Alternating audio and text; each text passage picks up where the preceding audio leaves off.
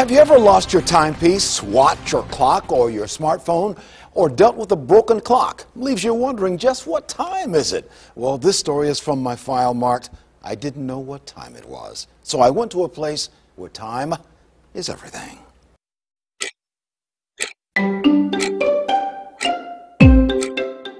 The farmer's field is quiet. This is the off season. But seasons will change as the field awakens to planting time. For time governs. Like the field, we too are governed by time. We are all clock watchers, which tell us where we are in life. I, I, do know if somebody misses their clock or if it's not been working and they take it down off the wall, it drives them crazy. Stan Wengerd manages his time efficiently. His is a timekeeping job. Wengerd is a clock maker. I like for the clock when it hangs on the wall to, to be flush. Okay, so it's not tipping this way or that way. For this few minutes, spend time with Stan Wengerd, a watcher of time in the best sense of the word. His Wooster Clock Shop is named for the nearby community of Wooster, but is actually nestled in the small burg of Smithville population 1,200. In some ways, Smithville seems stopped in time, but in Wengerd's Wooster clocks, everything is up to the minute. What, what turned you on about uh, making clocks? Um, it's the satisfaction, uh, honestly, that you get when a customer calls or emails you and thanks you for, uh, you know, for the product that you gave them. Yeah. His machinery cranks out carved clock faces. This passion began several years ago when he bought a machine, having no idea what to do with it.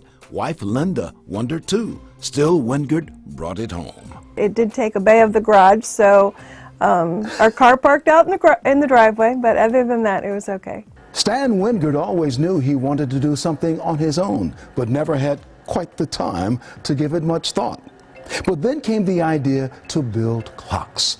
In due time, he had all the time in the world. So we dusted off the machine and programmed it to carve in wood clock face numbers. A business was born.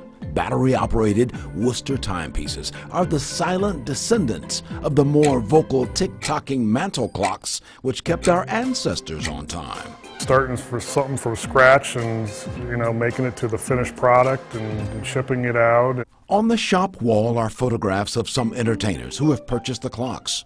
Wooster clocks are across the world's time zones, each pin representing a customer who asked Wengerd, Do you have the time?